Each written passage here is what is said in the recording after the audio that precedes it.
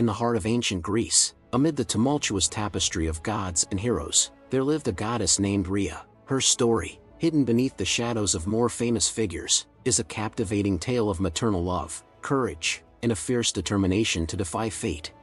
Rhea was born to the Titans, Cronus and Gaia, at a time when the universe was in turmoil. Her beauty was as breathtaking as the landscapes of her Mother Earth, and her spirit burned like the fires of Mount Olympus, but it was her destiny that would set her on a path of both heartache and heroism. As the daughter of Gaia, Rhea was gifted with a profound connection to the earth. She could feel the pulse of life beneath her feet and hear the whispers of the ancient land. It was this bond that drew her to the powerful Titan Cronus, who swept her off her feet with promises of love and grandeur. Their love blossomed, and soon, Rhea became the queen of the Titans. Yet, beneath the surface of their majestic palace on Mount Othrys, a shadow of darkness loomed. Cronus had heard a prophecy that foretold his overthrow by one of his own children, just as he had once overthrown his own father, Uranus.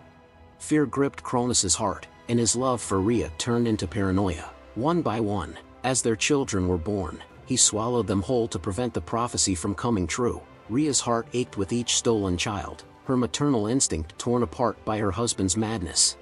One fateful day, as Rhea stood before the goddess Gaia, seeking solace in her mother's embrace, Gaia whispered words of hope and rebellion. Rhea, she said, the time has come to defy fate and free your children. Seek the depths of your courage, for you alone can challenge the mighty Cronus.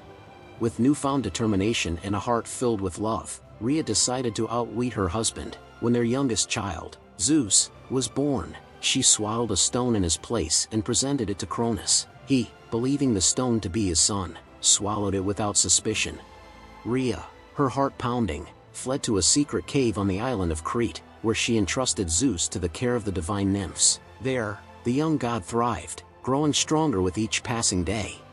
Years later, Zeus returned, leading a rebellion against Cronus and the Titans. With his mother's love and guidance, he emerged victorious, casting Cronus and his siblings into the depths of Tartarus.